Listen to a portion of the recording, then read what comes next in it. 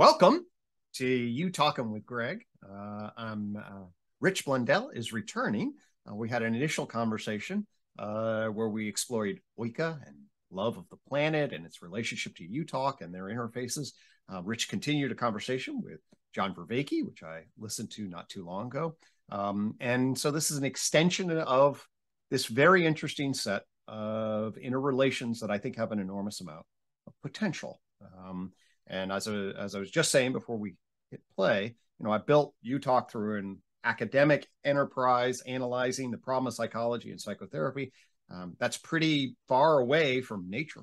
Uh, and yet at the same time, what ultimately emerges is uh, what is fundamentally the relationship between the natural world and our psyches. What's the right relationship to that? Um, and I think that there is a lot of beauty in Rich's journey uh, that speaks to a lot of wisdom in relationship to that. And so that's an overarching theme uh, between us. Rich, welcome back. Good to see you. Hey, thanks. Good seeing you too, Gregg. Uh, we were just talking a little bit before we started recording, and um, I was explaining to Gregg how, you know, just my professional life has sort of flung me into this situation where there's all these opportunities to talk about this stuff uh, in in new communities of mm-hmm. of of of our of our population, I guess. Yep. New parts. Of, let's say uh, new facets of our culture. Lovely. Have I've suddenly been granted an opportunity to speak about the things that we're talking about in this little corner of the internet. Right. In terms of like big ideas, big history, the, the natural history of consciousness, the natural history of humans, that kind of thing. Uh-huh. And so I've been able to talk a little bit about these things um, in unexpected places with, and, and it's been, it's been fascinating to like, uh, to watch how it gets received because it is, I feel like there are certain things that we're talking about that register, uh, in culture and the culture seems really ready to hear it. Or at least ready to hear something, to hear something new. And so I've just been able to witness how when when when we're when we're able to talk about these things and we have an audience and we have some attention, man, the the, the room really the, the room really tunes in to That's... to what's being said, which is which is really hopeful, I think, and it feels like feels like a good uh, a good synergy. Um, but the other thing is that um, all of this stuff that's been going on has has in some ways distracted me from the mm-hmm. the conversations that we had going on because they're mm-hmm. pretty they're pretty you know deep conversations mm-hmm. and you know once you um sorry i'm just changing something here once you um once you once you tune out of the conversations the deep conversations that when you kind of get cobwebs about it so i was mm. hoping that maybe we could spend just a little bit of time doing a little bit of a recap Sure. Mostly for me, just to bring me back up to speed to where mm-hmm. where we were okay. and where we are, right? Uh, as as a refresher in some right. sense. Um, yes, let's definitely do that. Uh, but let me just uh, invite you to say a little bit more about the uh, the context that you're in. You're a science in residence. Am I, am I a scientist yeah, in residence, or or you have a scholar in residence kind of position on Nantucket? Can you share just a little bit more about the position sure, you is, find um, yourself in? Sure, it's uh, it's really it's fascinating. It's an organization that I have been sort of eyeing from across Nantucket Sound for some time. Okay. Um, it's an island off the coast of Massachusetts. Mm-hmm. It has this rich, rich history. It was a whaling port, you know, back in the 17 and 1800s, and you know, was very. It gained a lot of affluence, uh, but then because of economic and geographic changes, you know, the, the, whaling industry shifted to New Bedford on the mainland, mm-hmm. and so this island, though, you know, it's been through these sort of these sort of periods of boom and bust. But what's really fascinating too, I mean, besides just the, you know, the early early colonial history, you know, when the first um, Europeans came and you know colonized mm-hmm. Mm-hmm. New England, sure, Plymouth, and you know, there's that whole story. The the this island of Nantucket had a relatively peaceful um, period with you know between the mm. the Native Americans and the. Mm-hmm, mm-hmm. But jumping ahead to the um, you know the the the, the, the whaling part, it, what's really interesting is that people who lived here, you know, would these whaling ships would go off and sail around the world for years, mm-hmm. often a year or more. Hmm. And in that time, they would take on crew members from wherever they happen to be, you know, whether that's Polynesian sure. islands or the mm-hmm. Caribbean or mm.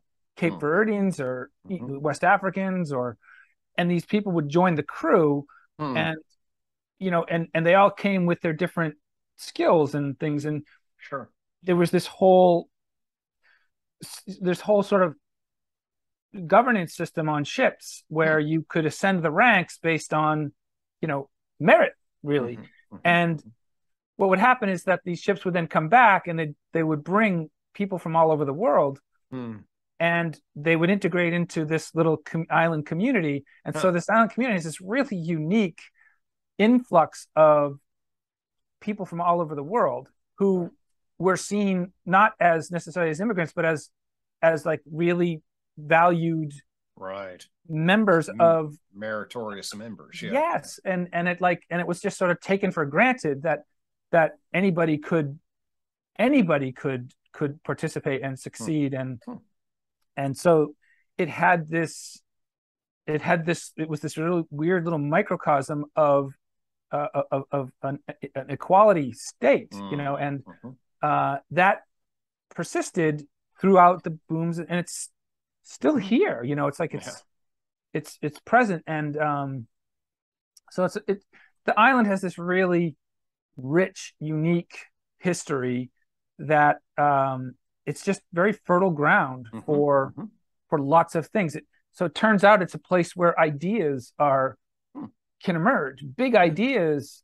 There's a certain comfort level with big ideas out here, wow. and so as I was saying, like after I you know had my whole life in the adventures of mm-hmm. science and doing all that stuff, and mm-hmm. I sort of came back to my home habitat because that's mm-hmm. what this is. Mm and um, I started, you know, watching this organization that's out that's out here, and it's called the Maria Mitchell Association. So it's mm-hmm, it's founded to preserve the legacy of a woman mm. uh, who discovered a comet. You know, she has this incredible history too, and mm-hmm. but she was this really. She came from Quaker background. She mm-hmm. she she lived out here. She discovered this comet, won this big award, and this mm. set her off on this sort of trajectory of science celebrity. She became a you know eight, hmm. uh, uh, 19th century science celebrity, and she was mm-hmm. mm-hmm. first woman inducted into the National Academy of Arts and Sciences. Wow. She became an astronomy professor at Vassar. Mm-hmm. Um, hmm. But she just and but the really interesting thing too is that she was she became friends with a lot of the people you know the the influential people of the time. Mm-hmm. She's hanging out with the transcendentalists, you know, mm-hmm. Thoreau, Thoreau, um, just all those guys. Mm-hmm. mm-hmm. Yeah, and she was also very much a, a women's rights activist, mm. and was just hanging out with the Alcott sisters and a lot of literary literary Herman Melville and mm. Nathaniel. Hawthorne, and mm-hmm. so it's this real eclectic and she's a scientist. She was also very much into nature. You know, there's these mm. stories of her having um, this practice of long walks in contemplation and observation mm-hmm. of nature. Mm. You know, what we would maybe today call forest bathing. She was like the mm. original. Mm. She huh. wouldn't say that, given you know right. her Quaker Puritan sure. sort of. Uh-huh, uh-huh. But you know, she had so she had this nature practice. She was a mm. birder. You know, she mm-hmm. and so this organization now that has uh, that that is here to sort of preserve her legacy finds itself, you know, in this very unique position that mm. it's got all the elements basically of big history. And this is kind of what mm-hmm. I saw. I was like, this is what right, really attracted right, me to. It's like, well, you've got an astronomer who's really into nature. Mm-hmm. She's got all this cultural influence and interaction. She, mm-hmm. you know, she was a thought leader, uh, uh, uh, uh you know, equality things. So it's like they're doing big history and they don't even know it. And mm. and so I approached them, you know, last year and said, mm-hmm. Mm-hmm. let's do something. And so mm. I've now uh, so we've sort of invented this position as a as a visiting scientist as a kind right. of trial run. Okay. But it's just opened up these amazing opportunities to to talk about the things we're talking about. Mm-hmm. Talk about, Mhm. you know, talk about deep philosophy, cognitive science, natural history, big history, Right. the revolutions in psych in in in, the psycho, psychological fields, all these things that we're talking about. It suddenly there's this place that it, it- it just seems to fit. It it dovetails, and so that has opened a lot of opportunities to. Um, and so I'm finding myself uh, suddenly standing in front of you know groups of people Mhm. saying the shit we talk about, and I'm just and I'm just in like saying, last night, right? like last night and and what surprises me more than anything is the receptivity to what what i'm saying i'm, I'm saying stuff that needs to be said Mhm. and uh and it it it, it catches i hear it catching you know Mhm. engaging and so it's exciting and Yeah. we'll see where it goes you know but um it's it's it's new territory for me it's um Lovely. I- and I just think a lot of things are coming together in, in a way. So I feel a lot of pressure not to blow it too. Like I, I, I want to represent what we're doing with with integrity, so that Mhm, it it mhm, um and live up to it. You know, because frankly, you know, I'm I'm out of my league in some ways. Mm. In, many ways, I'm out of my league here. Like Mhm. I'm really just an ex fisherman. You know, I'm really just this dude who loves to be on the trail and Mhm. you know Mhm. communing with birds and Right. stuff right. like that. So it's just really exciting. So anyway, Uh, that's yeah. that's That's lovely. why- yeah. well, that's why I've been sort of like uh, Mm-hmm. uh not so much in, having the conversation. So I wanted that's why also why I wanted to like spend a little time. Let's can we ease back into this totally. and see where we're, we're at because I know you're you know you're, you're making a lot of progress. Your books come out. I, I listened to you talk twenty stuff, which is amazing, and I want to you know dive into that a little bit, but also figure out now where how we're advancing this thing. You know, based on kind of what I'm seeing and Yep. what I'm experiencing in the world. Yeah. Where can we kind of go from here? Because it does Totally. feel like there's does feel like there's a big opportunity somewhere in here. Amen. Lovely. And that's why I um I, I really appreciate you recounting that. Um, so for me, the reason I appreciate you recounting is, is like, you know, um, my journey is, you know, I fall into the ideas. I'm embedded in the academic institution, the traditional academic institution. I think I'm going to follow then the influence of the ideas through the academic institution. And that really just doesn't happen.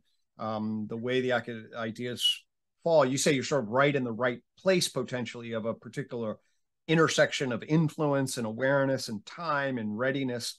I'm actually would say that I wasn't in the right place academically. The field of psychology was, you know, sort of like still situated in its, you know, reconsolidated identity of, hey, we're okay with just being a science because we do the methods of science. We're not interested in, you know, big theory still. Um, and and they're between a modern and postmodern view of the world and this meta modern sort of theoretical integration system is still not structured and, and and if you don't have the ear of the institution and if it's not really looking for stuff it's just not going to pay any attention that's what i then discovered and so i i kept going deeper and deeper into the analytics of what it is that i was doing and the implications at the idea level and then of course went from the unified theory of knowledge uh, to psychology to the unified theory of knowledge it turns into a garden and a coin and you know gets weirder in terms of Can what, I can I just interject one thing? Yeah. Do you think that like these struggles or these you know just these dynamics that you're talking about, which seem they, they, they take a lot of they seem to share a lot of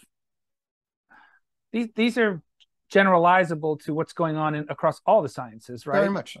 and very and much so. it's it's kind of classic paradigm, even Kuhnian paradigm shift stuff, dynamics that are, are going on. So I mean, I, I think I think you're you know you're focusing in on psychology, which is incredibly important, and that and the field is clearly ripe for it, uh, for the for the for the disruption Mhm. and the, almost the overhaul. Uh, so I, I, but do you see it though as part of the? It's kind of the status quo in terms of science revolutions, right? Like, Totally. it's part of that. Totally. Yeah. So, I mean, the science, I mean, if we just do a basic Kuhnian thing, we'll put it in a little UTOK language. Yeah. People will build systems of justification that legitimize paths of behavioral investment that get institutionalized. Okay. Once you get an institutionalized structure, you have a market structure, you have an organizational structure, you have Mm. all of the journals, you have all of the peer review, you have all of the ways in which individuals dialogue, and they build a system of justification which places constraints and litig- litig- legitimization functions on an entire system. Yeah. If you come outside of that with a different legitimizing function that then can essentially deconstruct major aspects of it, the system itself, from a cognitive dissonance perspective, will find anxiety in that. It has to have a strong motive. There's got to be some clear element that motivates the re- desire to go to that you know anxiety. So the system has to be in trouble. If the system's not really in trouble in a particular way or there's no systematic press upon it then then there's no need to to do anything. Now so from my vantage point the way the system's structured essentially became blind to the need so it's not aware of the need and it is not really experiencing a particular press that's unique. What we're seeing now is there's an entire press that's emerging across the entire modern postmodern justificatory institutional structure. So now what we're seeing is, a, is an increasing press of the felt sense that our knowledge and institutional structures are just not up to the task in general. Mm. right. That's right. what I think really is emerging. It's like, so now you see, yes, it was, you know, psychology was comfortably in denial, but actually, hey, sociology is comfortably in denial. Shit, there's aspects of physics that are sort of, you know, the entire structure, yeah. you know, yeah. sort of like, how do we make sense out of the world? Well, and, and then my- along comes comes, and I don't mean to plug it, but then along comes big history. You know, like here's a here's a framework to like now let's rethink how we fit into this. Totally. And so it, it it makes sense. It's exciting as hell too. I think. Right. and that's I, I, actually have been working recently with Tyler Volk. Um, and we've been talking about a big history 2.0. I mean, that's what we're actually thinking about mm. really um, engaging ourselves. So I, I really read his uh, Quarks to Culture and, and understand his structure.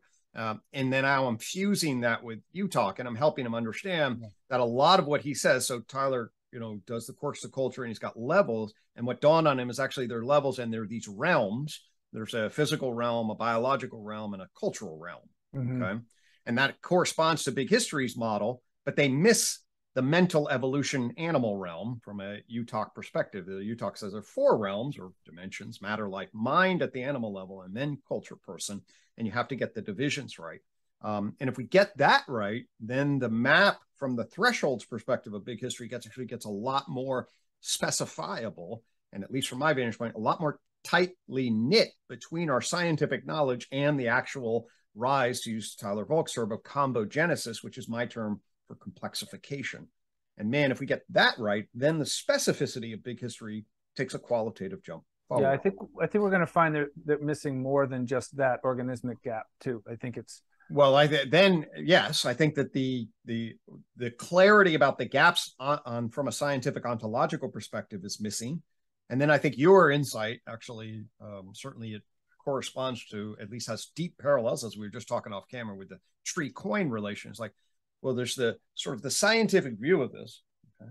and then there's the subjective realization of it and the embodiment of being mm-hmm.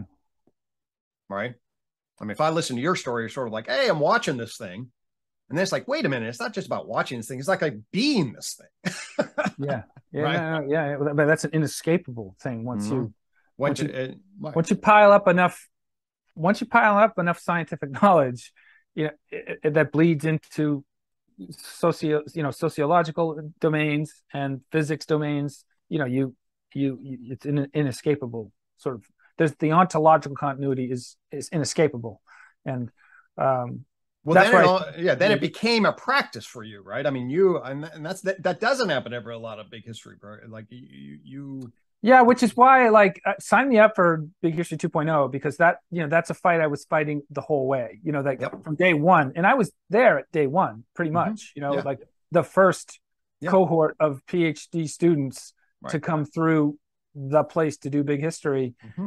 I mean, I wasn't there at its founding. Of course, they were the original founders, right? Obviously, but in, but in terms of when they brought that field to market, yep. I was one of the and I from day one there was that mismatch there, which was exciting because it was like I could see things. I could see things. Clearly. And I'm dealing with historians now that are using scientific language. They're talking about scientific. They're not doing science. They and they and they're not quite sure where they you know where to position themselves, which was which was frustrating because it's it looked sloppy. You know, in some ways, it's like, wait a second. There's a difference between talking about scientific knowledge and doing science. We know that, right? And there's a difference between doing historical scholarship, good, rigorous historical, and doing science. These are they're on a continuum, but they're in some sense very, very different. And and I'm seeing the same thing now happen, you know, in the arts. Like I, I have a lot of conversations with artists about, well, why isn't art considered, you know, why isn't it like a more um, um, why isn't it a more uh, legitimate source of knowledge and da da da da da well it's just these are just different activities but the point i guess is just saying that that frustration with with with big history and, and look i'm not like complaining about it yeah, because no. i think I, I, think it's a, a normal mm-hmm. and, and and you know um noble process to mm-hmm. go through totally. it's not easy but it's it, it, you know but it's it's it's exciting Right. And, well, that's we can pick, think of this as in developmental terms, as far as I'm concerned. Yes. yes. Okay. So, so that we, was, but anyway, sign me up for that 2.0 mm-hmm. because, mm-hmm. you know, with the assumption though that it's also going to be 3.0 and 4.0 and it's, it's, going to it's going to evolve. Um, so where are we now? Like, um, you know, I, I, I, I listened to your framework and I, mm-hmm. I think I have a sense it's it's richer than I can sort of than I can grok all at once. But um, the parts where I think it's the parts where I think where I feel the most excitement uh-huh, uh-huh. is actually, you know, there's the deep continuity hypothesis. I, I where I feel the excitement is is the part that's actually a little deeper than the deep continuity hypothesis. Like, okay. at what point do we transition from things things happening you know in the physical in in, in physics and or just natural sort of like processes mm-hmm. Mm-hmm. and the thing that would later come to be called consciousness totally. you know like where is where where is that um where do you put that if you put it anywhere if yeah. there is one i don't think there is one but where we put that sort of break between what we think of as purely physical mm-hmm. happening yep. and organismic doing like totally right like yeah yeah no the right so the i mean uh UTOK gives a particular structure to that both the continuity and the discontinuity yep and, and it affords i think a pretty good gripping function on what we know and what we don't know but affords knowledge in a way that's been cumulative regarding what we know and gets us mm-hmm. clearer and clearer yep. um, while also revealing and certainly maintaining all sorts of flexibility, uh, potential wrongness in the system. Um, that's that's got to have a ripple effect in every field that it touches, so, right? So, yeah, I th- well, certainly the it, to the extent that we're actually able to network our structures together, and with that, with that sort of epistemic, and I'll come back to that word, and ontological continuity in particular ways that afford cumulative coherence. I mean, to the extent we do that, then you get a ripple effect of change across all sorts of different elements. I mean, the the vision logic of the of the tree of knowledge, you know, uh, says okay, out of an energy implicate information implicate order, you get an organization of frozen energy complexification, um, and then you can track the development of uh, that through nested holarchies or combinogenic structures, both within a particular level of particle to atom to molecule, then across scale, and you have emergent aggregate properties. However, all of that remains uh, in a potentially uh, what most people call weak emergence, and then essentially a, a pretty a, a, good reductive physicalist p- program works from particle physics to chemistry across scale to planets and stars. Okay, but something different happens at the level of life. Um, and the and UTOK argues that the thing that actually happens is the self-organizing processes um, as a function of the negentropic autopoietic structures that we can get into um, create a membrane of an input-output structure that actually can be framed as a novel epistemic. Come back to that term. And, and there's a kind of biological intelligence knowing structure. Uh, and that we need to understand that biological intelligence knowing structure by bringing an information processing architecture and communication network architecture mm. uh, to explaining it um, and, and to then describe and explain the complex organism adaptive dynamics about how organisms exhibit functional awareness and responsivity in a way mm. that tornadoes do not. Okay, the functional awareness and responsivity is a function of the information processing structures and communication networks And if you want to understand more clearly, we can get into the details, but the way a system operates on an information processing actually eliminates the capacity to explain it as a function of microscopic um, particle analysis, mm-hmm, mm-hmm, precisely because mm-hmm. the epistemic function is operating on the macroscopic form and is determined by the macroscopic form. Actually, Sean Carroll, who misses this point, got in a conversation with Anil Seth on it in his podcast, and they actually arrived at this conclusion mm. if you know how to listen to their conversation. Um, and it's actually the correct answer for why emergent epistemic processes, which are depicted visual logic in the tree of knowledge, are not effectively mm. reducible in any way near the same way that chemistry mm-hmm. is reducible mm-hmm. mm-hmm. atoms. So the short answer to that I would give is well, there's a complexification process. Okay. If you want to take sort of a spiritual continuity, quasi panpsychic view or whatever, okay, that complexification is a there's an integrated information network that does have a trail of continuity. So this is the continuity argument. Okay. Mm. But there's then a self-organizing discontinuity that is captured by the different cones of complexification as opposed to a single cone. So it's both continuous, uh, continuous, and dis continuous, depending on what aspect we're emphasizing. Mm-hmm, mm-hmm. Uh, but the key, in terms of what I would say, when you, you use the term consciousness, well, we have to know what our referent is. The most general definition of consciousness is something that exhibits functional awareness and responsivity. Okay, when you say, "Hey, that guy's unconscious," mm. what do you mean? Okay, you but we've already, but we've already really solved the problem. That, like, in other words, I'm really comfortable with everything you just said. Like, it all. Mm-hmm Okay. No problem. It's like I, right. there's no there's no controversy here, you know. Okay. And if there is Good. one, fine. I agree. right. So and actually, UTOK and Tree Miles is very very conservative in terms of just sort of a general set of already agreed upon information that is networking together that affords right. consensus. So and then okay. there's this this residual reluctance, but there's this residual well, reluctance. The, the, or, there are a lot of reasons for that, but well, and there's a lot of it's well founded. I get it. Like you know, mm-hmm. you just we need to we need to be very cautious and right. protect hard won scientific knowledge. Mm-hmm. That's not to say science is the end all, but right. it just means that you know let's no. not throw out the baby with the bathwater. So, so, so we're there. Okay. So yeah. now what? What's the next question? Well, I think we I, what, what's really interesting to me is how this intersects with the culture, how this intersects with the meaning crisis. Like, mm. so what does this mean to the meaning crisis? Like, okay.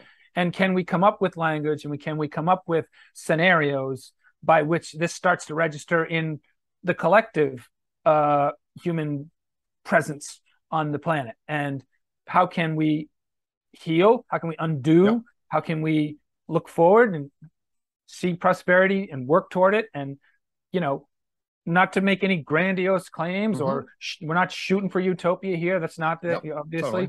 but how can we get ourselves out of this fucking mess? Yep. and you know the at least the bad parts of it. But and do better do it better and mm-hmm. and, and and be mm-hmm. prepared mm-hmm. for whatever the future holds so and and you know people like john and others have articulated the meaning crisis in, yep. in really palpable ways great that i wish would i wish would find a bigger audience of course mm-hmm. so that you know that we so that we were all sort of mm-hmm. aligning with mm-hmm. with with, with the bigger project here um, so that's what I, that's what I'm really interested in. Is yeah. I, I'm kind of looking at both ends of the spectrum here. What's going on down there at the atomic, yeah. subatomic, quantum totally. scales that we can begin to identify with up here yeah. at this mm-hmm. at this scale. Yeah. But then also, how can we apply all of this transformation right. to you know, in a cultural level, and something that's attractive, right. and I mean that literally, like right. well, and figuratively, like it's attractive mm-hmm. in a basin of attraction and uh, filled fills us with completely good feelings. yeah, yeah. Well, here uh, um, I'll, I'll bridge off of conversation that Alexander Bard was having with Dan Schmachtenberger not too long ago on parallax. Um, and they, although they come at this like I come at this in very different ways, um, they quickly framed the current situation in terms of attractors. Okay? Um, and they identified three broad attractors one was a chaotic attractor. Okay, things are wobbling. They're going to get more wobbling, and ultimately you're going to get global civilization collapse. Okay, so the chaos attractor. To try to control for the chaos attractor, there are you know you're going to get totalitarian structures, uh, and so a third, a second chaos, uh, a second attractor is totalitarian control to try to downregulate um, where power structures emerge, and you get a 1984 scenario, which in the digital mm-hmm. landscape mm-hmm. is a lot more plausible mm-hmm. uh, because if you can control the information flow in the digital landscape in a radically sure. different way than you could before. so you have so both in terms of risk, if Dan Schmachtenberger's global risk uh, assessment, you got Matt, two big attractors given increasing sort of chaos about how a it will fall down or people will try to control it from falling down and then produce totalitarian state. And so then it's like, well, we don't want either one of those attractors, right? Right. Uh, there's a is there a third attractor is much more optimal uh, and sustainable in relationship to basic human values when we can look at both of those attractors and saying, fuck, I don't want to live, I don't want to die, and I don't want to live in 1984. Right. right. Um, so that's a basic structure. So then now what would be the natural, what's the nature of that attraction? Uh, I think uh, the, the good news is, is that p- there's more of a collective awakening that mm-hmm. the system is wobbling, there's mm-hmm. dangers, and mm-hmm. we need to think systematically about a fundamental upgrade in our operating system mm-hmm. to change some of the way the variables are working. Mm-hmm. So we're, we're, and you're then you, I think, just of your description of hey, where you are in a you, yeah, granted it's a unique place, but people with power and influence are feeling this. Obviously, you're, the room listens when you're like, hey, here's a new scientifically grounded, but also really it's got a fusion of values. You could see it in the way you operate in the world. You you love being, you love nature. There's a particular way in which you're exemplifying meaning, which I think is part of the meaning crisis, is a starving of the sacred, it's a starving of these kinds of things. So you can embody a scientific worldview that also embodies a structure of being in the world that is so alive that many people are craving. So, and then if we say, well, what would that look like? There, there are a lot of different pragmatic and institutional and analytics and, and embodied structures. Um, but at a general level, what I think this conversation about is like, yeah, what are the kind of features of the third attractor? Um, and, and, then how are we syncing up for those of us that have aspects of that? Mm. Uh, and for me, the alignment of self with the natural world, okay, the alignment of the subjective qualitative experience of being in the world in coherent alignment with the natural world is unbelievably crucial uh, if we're going yeah. to find this world attractor. And so this is where I think you and I are like very easily. I listened to you on John, uh, you know, five minutes into your conversation, like I, got to reach out to that guy, um, precisely because there's that kind of resonance. Yes, and to, and to think that we would like be able to just pick up and run like, you know, the, the clear mandate I think that's un. It's not. They're not. Not. There's no. I, it's not reasonable I mean, to do. But I do talking, think there are th- there are certain things that are built into this. Like for one thing, it's communicative. Something about the system has this suddenly this this this very highly uh, enhanced communicative capacity, which is like now it's there. Mm-hmm. Thus far, it's been used for the old stuff, advertising, you know, political mm-hmm. mm-hmm. strife, whatever you want, yep. Yep. however you want to use it so there is, but there is that potential that's there. Mm-hmm. Uh, what was the other thing I was going to say? Was just that. Um, oh, that that that. So what it what I'm what I'm thinking is that we need some kind of a proxy, like because people can't kind of live the way I do. I mean, very mm-hmm. few can actually like spend carve out enough time in direct contact with nature to hear it speak. You know, it takes it takes a lot of time it has to be a priority and that's not so there needs to be some kind of proxy mm. And i think your framework in mm. some ways it harbors opportunity for that proxy like there's there's something in there that's attractive that you know doesn't mean you have to go get lyme disease every year you know like and which is an issue you know it's just mm-hmm. like yeah, fair enough and you know people don't want to be uncomfortable and i get that you know like in being in nature is often uncomfortable and mm-hmm. mm-hmm. um so i think that's one area that we could work on it's like what is that what is that new experience of nature that is that is that is not doesn't mean you have to live like a paleolithic person. It doesn't right. mean you have to cross an ocean or climb a mountain or you know you can live a comfortable modern life and still have access to the the the richness of nature in in your home or you know in your in the world that's accessible readily accessible to you. And then that can start a, a relationship. Once once once that relationship has sort of started with mm-hmm, mm-hmm. and it, it it part of it is internal to the to the human who has to make the mm-hmm. decision to have that mm-hmm, relationship mm-hmm. but once that relationship starts and the conversation begins yep. then it's exponential you know like we're talking we're talking about nature here we're talking about the thing that has created all of this. Right. And so it's a it's it's it's an extraordinarily powerful creative force. And so once the conversation starts, it's going to it's going to manifest in ways that that are beyond our control. You know, totally. between you and nature, and yep. nature's going to start showing you things. You know, mm-hmm. in, in, some sense, it's like a, it's like a psychedelic experience uh, without having to ingest just like you know the substance. Yep. So, um, yeah, those are just. Those yeah, are just well, I mean, I, I, you know, here's so right. So my my relationship to that goes as follows. So if you know, if I if I go back in my development in say 2011 and about and publishing my first book, A New Unified Theory of Psychology, um, I wouldn't and had heard you if I'd heard you then, the immediate resonant wouldn't have been nearly as apparent because it's the way my mm. system has developed. I'm speaking for my own self, my own history, my own emphases. You know, I I grew up in a normal suburban home, or that's emphasized a lot of academics. Um, but it's it's structured in a modern techno system. I'm not uh, I mean, I like going when I'm a kid, get crayfish in the, but I'm, it's not, my love of nature is not um, part really of my own framing or what I would say, oh, we need to solve the problems. Of course, I don't really understand the global problems in the same way I do now back then. But I'm an academic doing academic things. And then the system grows from a unified theory psychology into this unified theory of knowledge. And of course, the fundamental conduit was the transformation of the tree of knowledge, which was really this a statement about our analytics and our mythos within our analytic mm-hmm. propositional knowing mm-hmm. that then becomes the garden. Okay. The garden. And then as it becomes the garden, the embodied participatory interaction, to use some 4E cognitive science language, just explodes onto the scene. Mm. Okay, for me, just in terms of, and then my life is then the metaphor of my life is essentially a what I would call a garden fractal. Mm-hmm. So the mm-hmm. garden fractal is what does my local garden look like? And then what is the fractal garden in relation? And as soon as I put that logos on my system, the transformation to my relationship to the world, and in particular, highlighting just what I was blind to in relationship to nature, became mm. much more salient. Wow. That's and, a cool idiosyncratic generate, you know, mm-hmm. origin mm-hmm. story. And I think there's a lot, I think that would have resonance with lots of people who we need to who we need in this you know who we need to participate in this.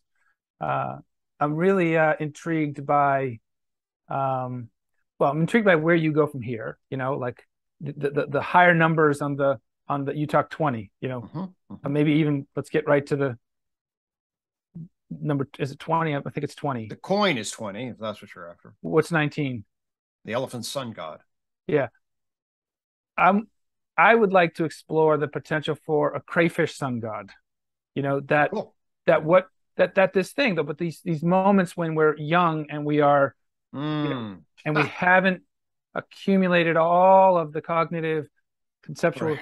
stuff and we suddenly we're back with the crayfish again and and and that's you know I, I feel that too like the, the I'm, I'm very much in touch with the phenomenology of that child being right being at being with without all of that. And so i just i think that that could there's something potential there. There's some potential there. Well shortly after i built the garden uh, i connected with an early educator and an instructional designer. Um, and we uh, gave the schematic a brief schematic of what a kindergarten would look like. Mm, mm. you know that you could build a nursery school into a kindergarten um, where the entire structure of the kindergarten is a garden. In fact, that's where the word originally comes from, mm-hmm. um, and an educational embodiment of one's, you know, the embodied experience that kids come at three, four, five, six, ready to be. That is our primate nature. Yeah, right. in, in, relation. And then we stamp it out of them. So we get them socialized into the technocratic linguistic yeah. propositional world. Yeah. You know, that's the that is the current structure of our socialization systems. And that it that needs a fundamental reset. That means that we need to rotate that. And of course, a number of educators have sort of seen that, but that's in the garden, the, the at least the potential that I see in relationship, the garden can actually hold all of that analytic propositional knowledge and at the mm-hmm. same time maintain a mythos mm. and an embedded participation that puts us much closer to right relation to nature than our current structure. Yeah, there's it seems there's like a process of you don't have to jettison all that all that that we gain. it's not the problem. It's only the problem when when it's held to the exclusion of the six year old. And uh, so then it's really just a process of, uh, in some way, recovering the memory of the six year old. Um, wow, which is kind of kind of a fractal of recovering the memory of the primate. Completely. The the, the, the, homin, the hominid. Mm-hmm. Um, you know what I mean? Like um, oh, hundred percent. That's exactly yeah, right. Yeah. Exactly so. Cool. Like, how do we do this? Like, how do we just keep doing this? And you know, and um, it seems to me like we've got a lot of stuff worked out, and um, now it's just a question of living it, you know, and and having the courage to present it, right. model it, um, exemplify things so so that's where exactly where I am. And like I think that there's a lot of the analytics and the depth worked out, and this is a totally new phase for me. I'm very excited. Um, I'm a little anxious. I'll be I would be lying if I'm not a little anxious because it's not uh, this whole hmm. okay for me. Um, I woke up to a particular talent that I had for abstraction, theoretical, psychological, philosophical abstraction, and then I dove into a rabbit hole that I loved. Um, and was talented at by myself, basically, relation for my speak my own little journey. Um, but now is the time for something uh, different. Now is the time for exactly what you just laid out. There's a, there's something that's here that needs to then be metabolized into something that grows, is embodied, is is cultivated, and and then how what that looks like and how you do it, how you interface with those systems. That's exactly sort of the what do you think? I feel myself. What are your thoughts on like the role of art in all this? I mean, I think unbelievably crucial. Uh, I think that the, I mean, first off, uh, the creative expression of the arts immediately speaks to, um, you know, uh, the intuitive, perspectival, participatory. We'll use, mm. you know, so we can. John afford John Vervaeke is affording us a nice set of languages um, that basically emphasize that a lot of our education is propositional. I would say propositional, justificatory, analytic. Okay, and then we're going to learn. We're going to learn how to do tech and we're going to have the implication that we're going to sit over and control nature. That's a, you know, um, but that's not the relation that we we're going to transform into a more holistic, what I call the wisdom stack from energy to matter to life to mind to culture across time in right relation, um, you know, uh, to the crayfish sun god. okay. Uh, and then t- that means then we need a, a whole nother or whole more set of inclusive kinds of practices and embodiments. So the arts afford us that creative exploratory structure, mm. perspectival participatory knowing that I think have been underdeveloped um, yeah. or in, in many ways. And the interface between, I mean, one of the things that you talk then comes back to and the meaning in mental health crisis, oh, we actually, there is a way to grab a hold of the soul and spirit in a naturalistic world. Uh, there are absolutely ways to understand those concepts, to embrace those concepts, to have awe in those concepts, to be consistent. I mean, elephant sun guy, you know, what a, a garden. There's a mythos here that's part of our capacity, and that's not inconsistent with science. But the way I learned in school, you know, I, I mean, I ah, you know, you know, this is real knowledge. I did all, you know, it's like, oh my god, you know, the, the mm. more holistic, scientifically grounded structure about our system affords a much more complete picture that then realizes that you're basically clapping with one reductive mechanistic hand over here. And, and, like you know that's missing the entire picture um, and blinding us to many many things we need to be aware of. So I, I yeah and i think that that's i think that's where art can play a really functional restorative role i think. Totally. uh, and when you put it that way i mean i'm it's making me think about the work that I am doing with artists and how, you know, there are certain artists that have, you know, they're highly talented. You know, there's a lot of really talented artists out there, but that, but that are so far from this understanding, you know, that they're, for whatever reason, their, their, their lineage, their training, their expectations, whatever it is, shut them off from this deep openness to, to, to collaborate with nature. Mm-hmm. But then there are other artists, you know, with also highly talented, that are for some reason something happened some Mhm. some event some particular scenario of things that happened that actually left the door open Mhm. and I, I think that's probably a really important and really um, valuable area to plumb at this point I is would I would totally agree with that. and so it's really you know and, and part of my work is to try to find those artists that have those sensitivities that Mm. have those sensibilities and talent of course and Mhm. passion and energy and creativity and um, find those that are willing to like work from less of a sort of idiosyncratic egoic artist Mhm.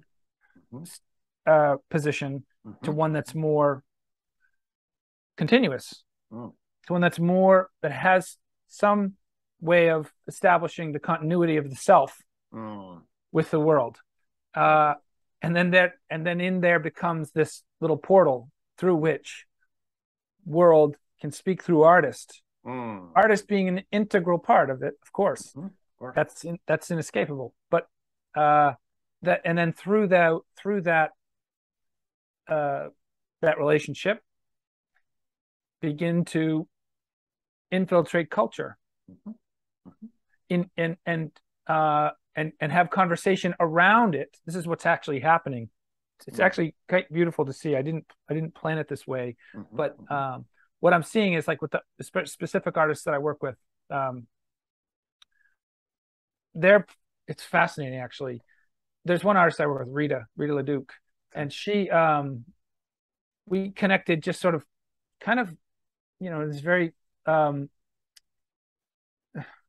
haphazard way or just this sort Mhm. of like fluke of a thing Mhm. but we realized that we were both onto something Mm. her practice, which is really unique, I think, in terms of the way it it highlights the enactive, it, it highlights an enactive process where Okay. she creates this frame, wooden frame, and puts this sh- clear sheet of plastic on, then looks through the looks through the plastic at some aspect of the world. It could be urban, but lately it's been nature.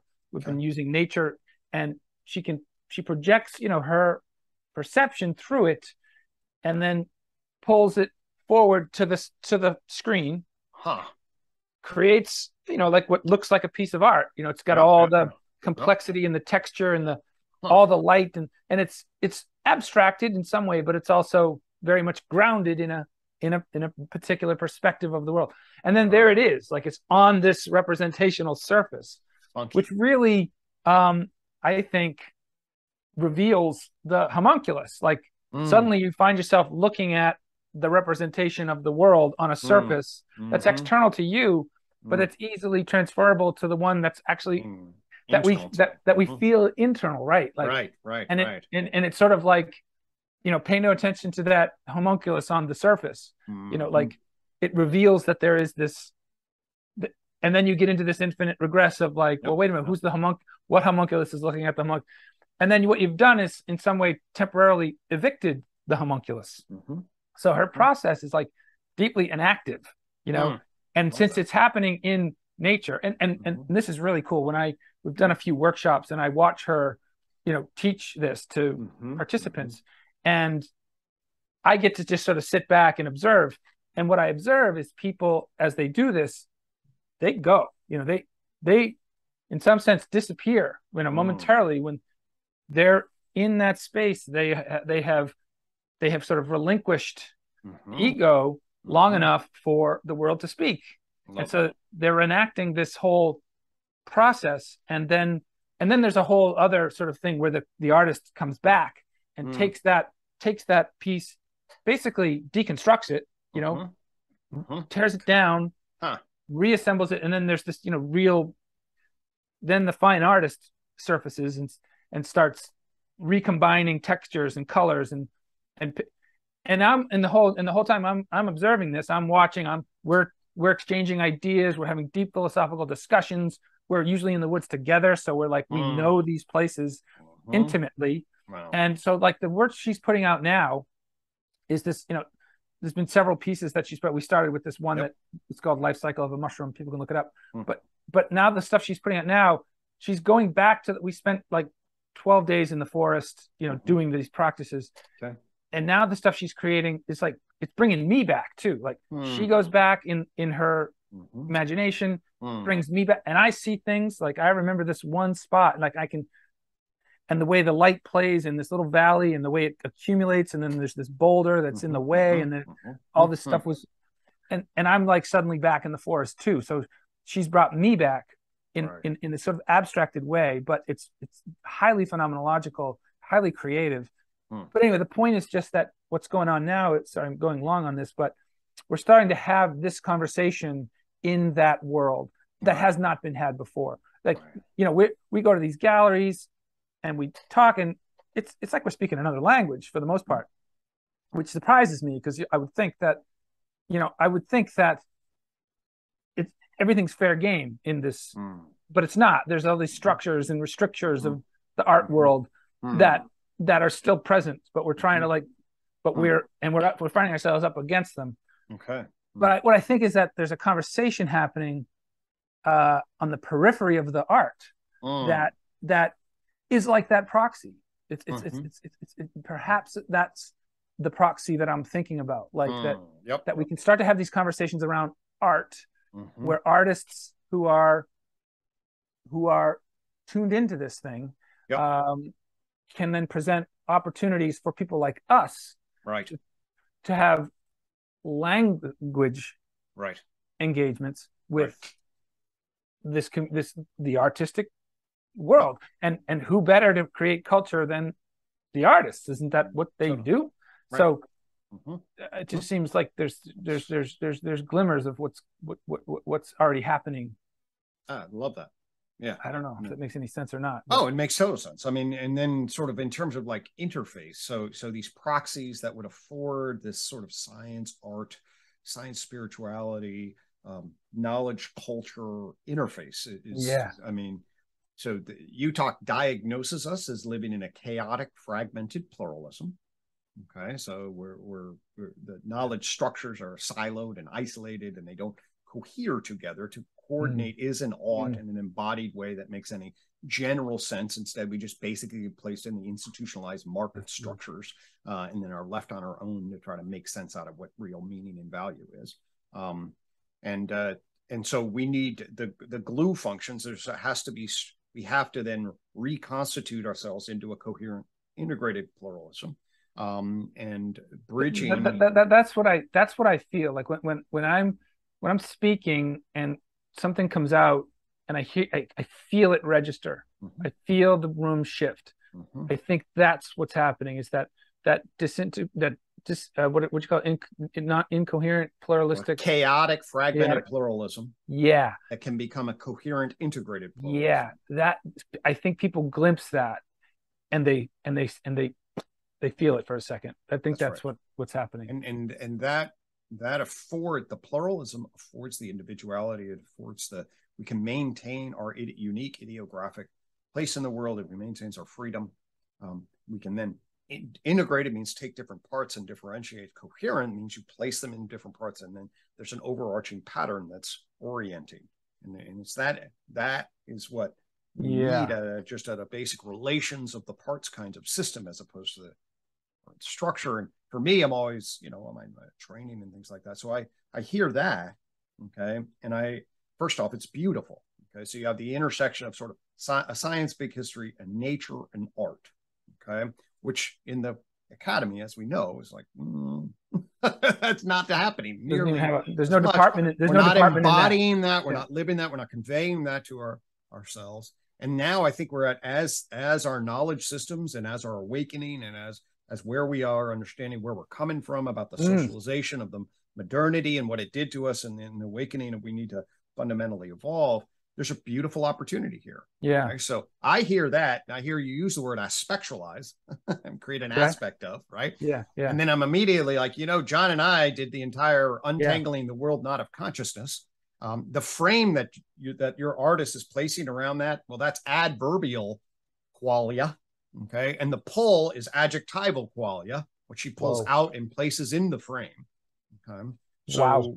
you know, that's the here-ness, nowness, and togetherness that creates the index function, that's adverbial qualia. and then the properties that pop out are adjectival qualia.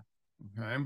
And so now you take the homunculus and you shake up the homunculus, right? And get the person dropping the homunculus. But actually, you could sort of put the witness function back in to the structure. And actually, you do have an ego that's kind of a narrator on top mm. of hmm. that.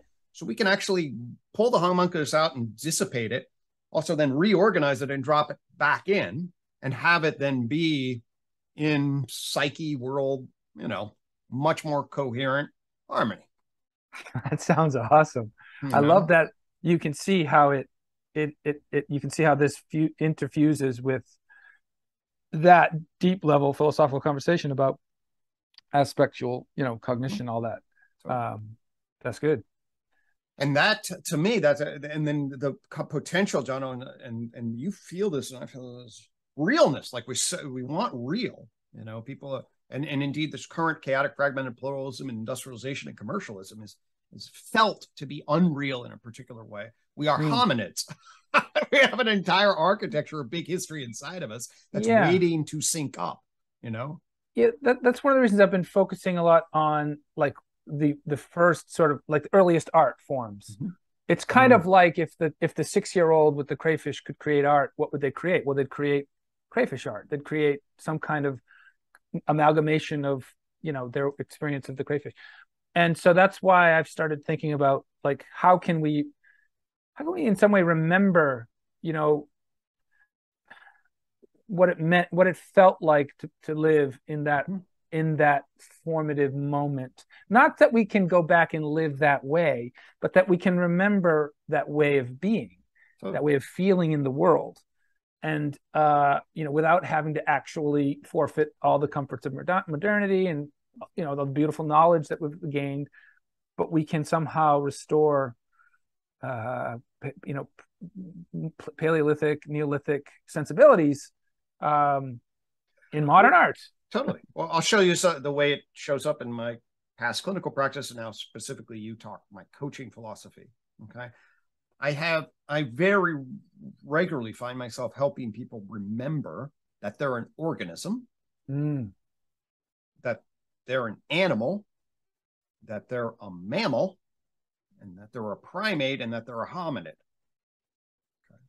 So just like you got many go back to childhood, Okay, and that's important. You know, uh, go back to the six-year-old state, but you go not go necessarily go back, but remember you're a stacked, nested layer of organismic, animal, mammal, primate, hominid processes. But but there is a there is a quality of our particular animalness that no other animal possesses, right. and that is our.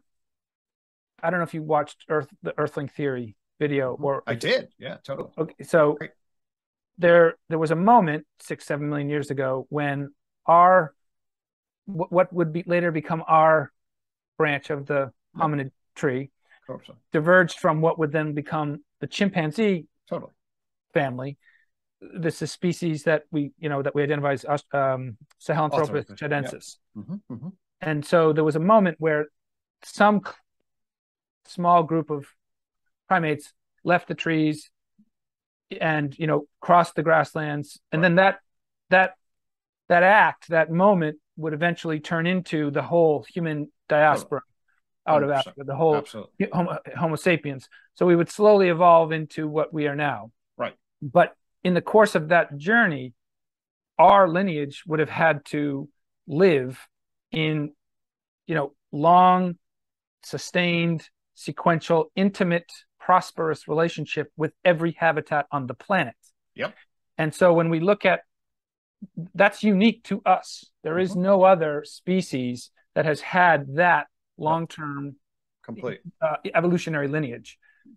Which means that if if there is an intelligence to nature that we can mm-hmm.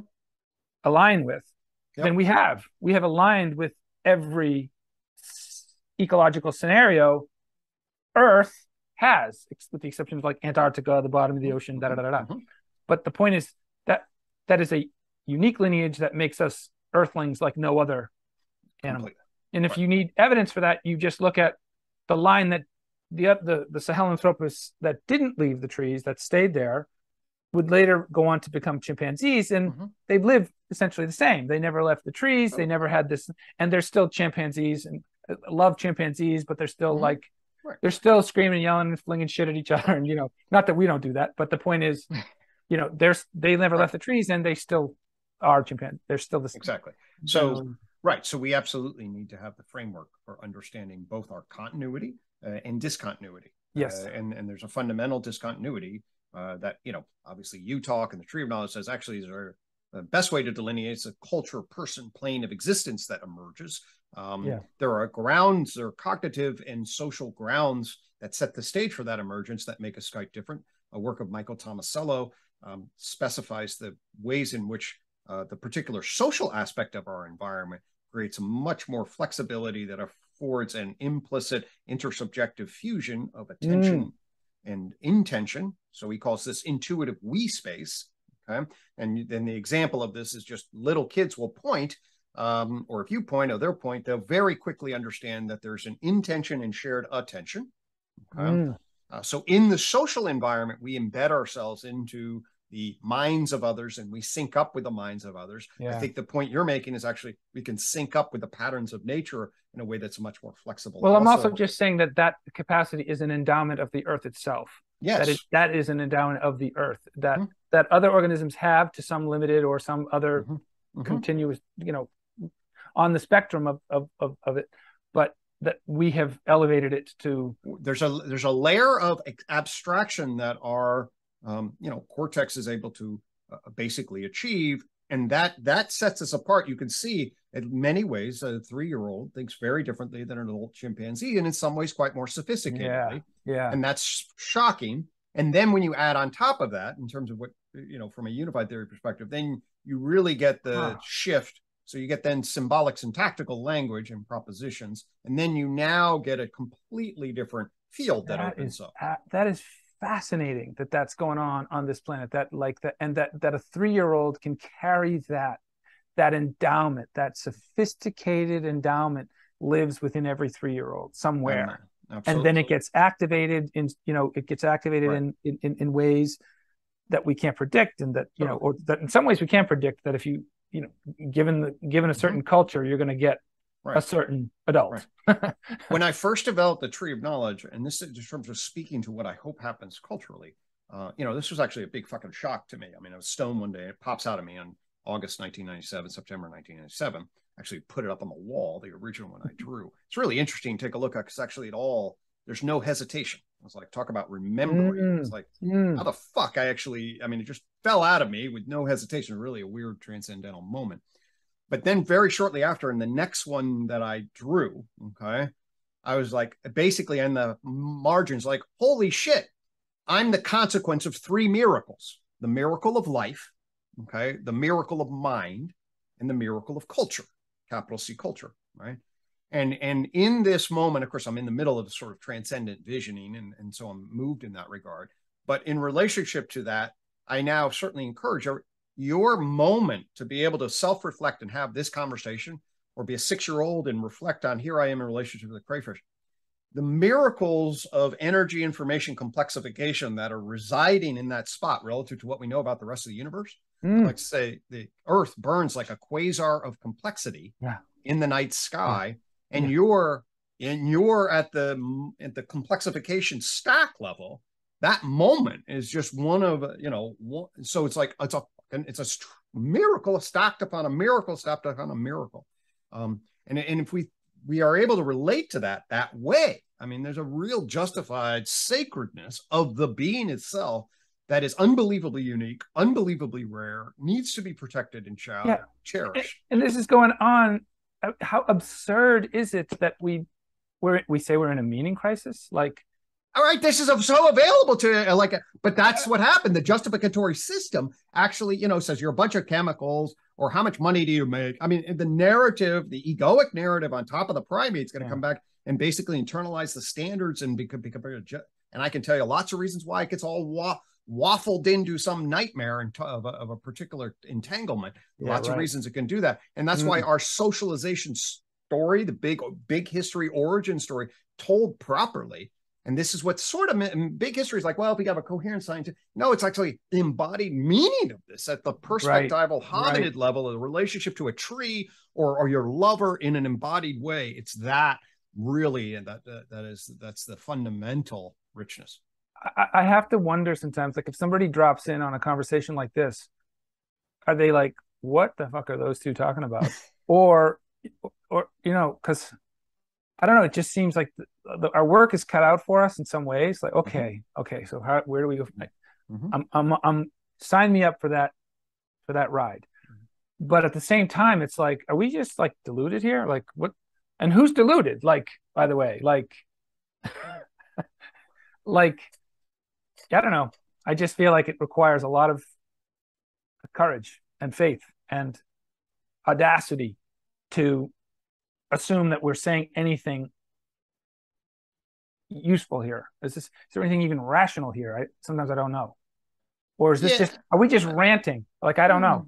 Yeah, I, I would. well, I don't. Okay, I'll say I don't feel that way. I mean, I mean, I at least I'll speak for myself, and and part of this, I will say, I mean, you know, I do come from a very strong scientific background with a fairly yeah. skeptical, analytical professor father. So I definitely UTOK is designed to answer the question towards the skeptical academic. I mean, that's what mm-hmm. it is fundamentally designed to justify itself right. yeah. in front of the heart. You get me, the physicists, the biologists, the psychologists, the sociologists, and the ethicists, yeah. and get them in front of me and throw lawyer like questions to attack this thing. This thing is designed to withstand that level of critique. That's what yeah. it's structured to. Sure. And and I think, and at least we'll see uh, whether it can. Now, I do feel like, oh my God, this can really make a difference.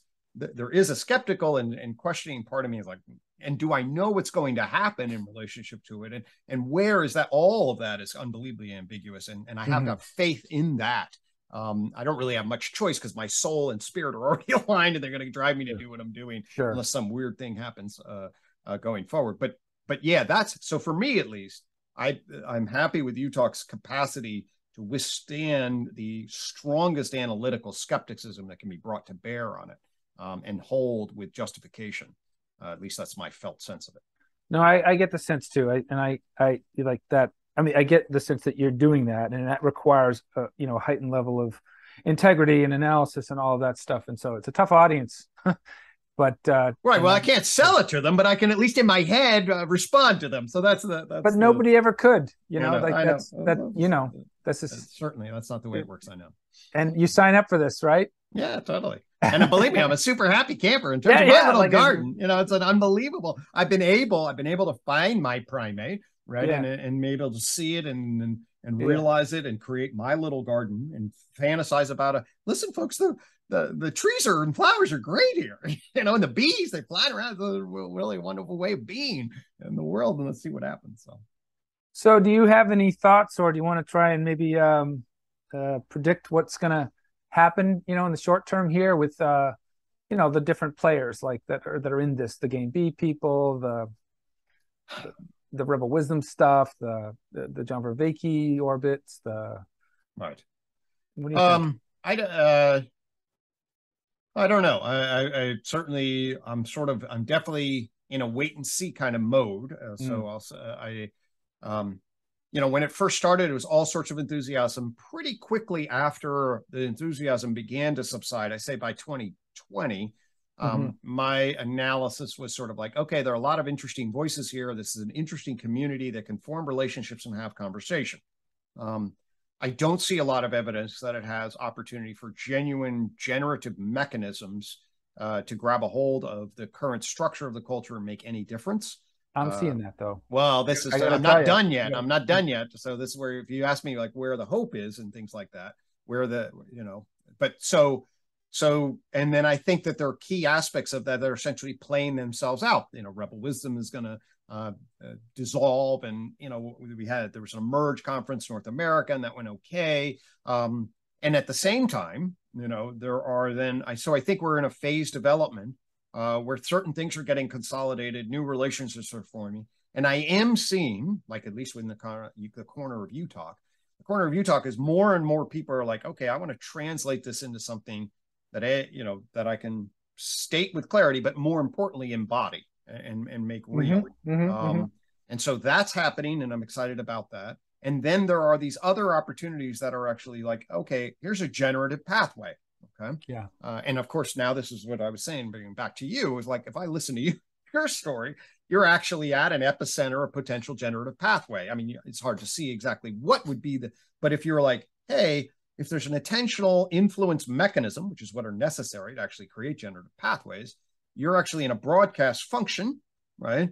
That then is then hearing, systems are now hearing that actually have all sorts of potential. And it's like, you know, and I'm seeing some of those, it's not just this, but but that's one good example. It's like, hmm, that if when that leverage happens, then you could really start to see the generative mechanism. So right. so that's a cusp of a generative mechanism that gives me like, oh, that's a path I could see really explode.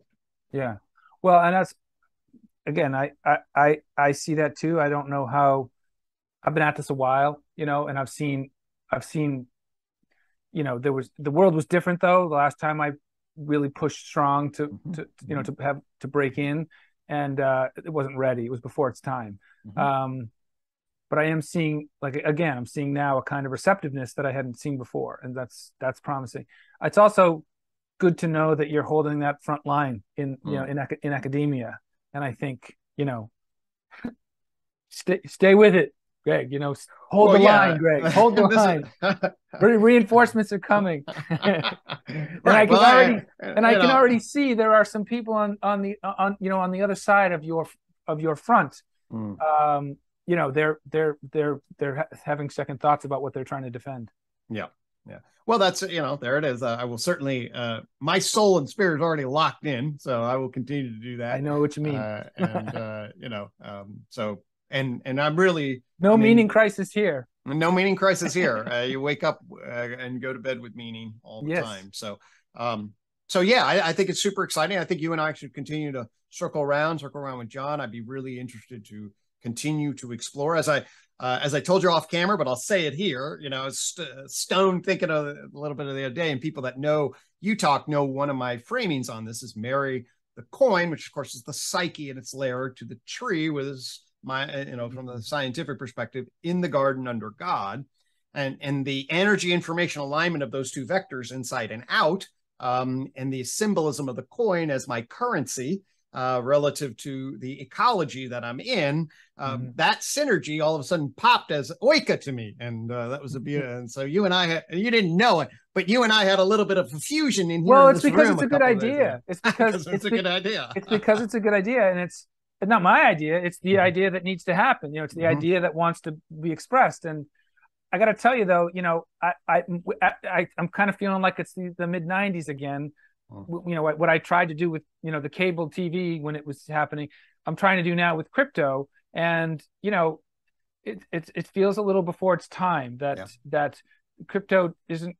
Uh, let's just say, put it this way: like I I heard uh, Daniel Schmachtenberger talking about. He said something about I don't know. He just articulated oika. You know, mm-hmm. he, he, wasn't articulating oika, but he, but I heard him say, "Yeah, mm-hmm. we need to align our incentives with these." Yep, totally.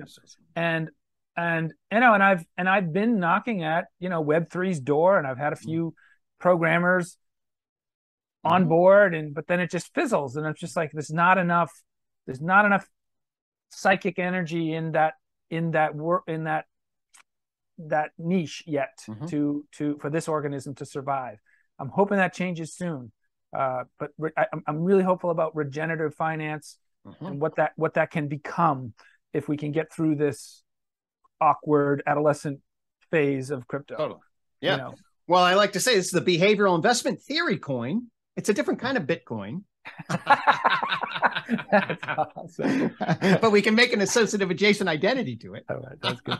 well, if while we're on the sub, while we're on the thread of sharing uh, clever uh, acronyms. Mm-hmm. Um, I was thinking about how you know a lot of your insights come from times when you're you know when you when you're high. You admit, yeah, and totally uh, so this should be called you token, not you talking. Perfect, exactly. I certainly do talk about hey tokers in the TOK Society sometimes. Well, that's the other so, thing I wanted to ask you. Like, you've got a really great convers. You've got a lot of really great conversations going on there. Mm-hmm. Uh, how do you like? You know, there's real deep thinkers and energized people, and mm-hmm. and mm-hmm. uh, it's it's a it's a it's a great sort of lively conversation that you've got mm-hmm. going on there. That's uh there's some developments there. No, I mean there's some. Yeah, I mean, so you know, the the system I think is in a particular again sort of phase of evolution at the level of so now you know a lot of my intellectual focus is getting this book done, the problem of psychology yeah. and new and new vision for a solution. I have that now basically done. Um, the back half of this year is to consolidate UTOK, you know, and that yeah. means that's a TOK Society. Um, yeah. That's clear, you know, getting the UTOK 20, which is an outline of that, uh, getting each one of the parts clarified. I'm doing a vision. I'm doing, I'll probably be slowing down UTOKing with Gregg and creating what's called Now You Talking, which is a ser- video series on definitions and key concepts. Um, so we're start. I've generated six of those, five to 10 minutes each. There are 40 of them we've laid out. Um, and I'm working on that. So so what I mean by that ultimately then in relationship to like the societies, like we need to shift where the energy of the conversation is. We need to create another layer like of a newsletter. Um, we also need a conference. I'm, I'm, planning potentially a TOK Society conference in April. I'll be talking. Do you have a do you that. have a venue lined up for that? Uh, well, be it would be a Zoom conference right now. I've done mm-hmm. I did some at JMU in the past, but I think where everybody is at this juncture, um, the ease of the yeah, uh, but but down the road, certainly there would be venues that I would be th- want to be in person. I've been fantasizing about, you know, asking people to come out here, and mm, well, because we've got the facilities, like in, especially you know. in the shoulder season, you know, like mm-hmm, in the summertime, mm-hmm. it's it's very much a, mm-hmm. chaos. Right, but right. uh, but on the shoulder seasons, it's gorgeous, and it's and it just so happens that you know we have facilities, uh, not at the level of like a university, but mm-hmm, um, mm-hmm it, it, I've just been toying with the idea. I don't know. It's hard to get people to find find the time to travel, and you know, but uh, it's something that I've been thinking about. Well, um, let's, well, let's uh, definitely circle back to that conversation because uh, yeah, okay, you know cool. that's the whole. Um, yeah. So anyway, those are the so and then basically, can we consolidate the message, get clarity about it? You know, explore the mental health implications, explore meaning crisis, network with other systems to figure out ways to connect really yeah. connect this with nature, connect it with art. And uh, as long as that tapestry keeps happening, we'll keep. Okay, cool. All right. Well, I'm excited to see how your book, um, you know, how it gets, how it lands, how it gets received. It, um, it, it I put it in an academic, so it's an academic context. I know, so, but, but, I'm excited but, to see how it lands there. You know, yeah, that's. So. Uh, any, any, any. When do you expect to like ha- have some clarity on how how it's well i mean i'm submitting it to the publisher it takes about six months usually for it to get finalized okay. so, we'll, not, it will come out in june yet. oh okay. no it has not and uh, it's in palgrave macmillan's like springer or whatever so it's a general um, but what i will be able to do then once it's out is just you know some people will read it and then it'll be really clear about okay this is the argument and and now it's well, a very it's a very specific you know it is contained within the academic psychology field. It's sure I don't actually mention Garden or Coin or anything like that. It's an art it's a structural okay. argument in relation, but it situates it does it's all about the enlightenment gap that produced the problem of psychology, and then how the unified theory solves the problem of psychology, and ergo sets the stage for resolving the enlightenment gap and setting the stage for a new enlightenment. That is, Smart. and I, and I think it's a pretty tight argument. I do too. I think it's brilliant. so it'd be good to see how that works out. But right. but again, hold the front, Gregg. Hold the front. I'll be doing my thing. All, All right. right, brother. It's really Take nice talking easy. with you. You too. Take care.